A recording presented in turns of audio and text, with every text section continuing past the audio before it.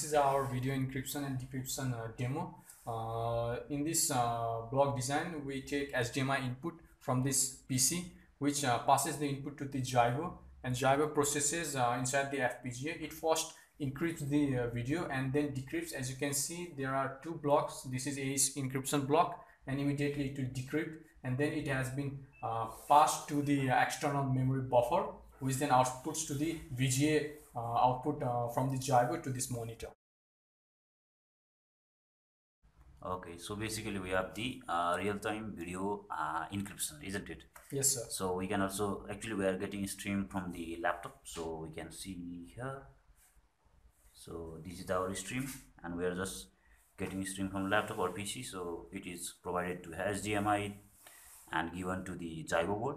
So Zybo is actually doing the processing part as you can see on the block design in the monitor. So AES encryption and AES decryption is utilized in uh, which, is, which are the HLS IP. So basically encrypt as well as it automatically decrypt because we are doing uh, both of things in same design for now and we will have different modules different system with encryption and decryption and we will send this data through wired and wireless medium so basically we have the Zynq processing system so we have SDK program also. And uh, this is all the block design and implementation. For any queries you can write on the comment section. Thanks guys. And thanks for Avidan